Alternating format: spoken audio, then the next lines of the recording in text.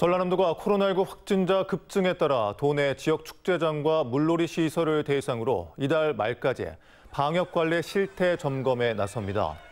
주요 점검 사항은 방역관리자 지정과 방역 인력 배치, 방역 물품 비치, 주기적 소독 환기 등으로 전라남도는 이용객들에게도 생활 방역 수칙을 홍보할 예정입니다.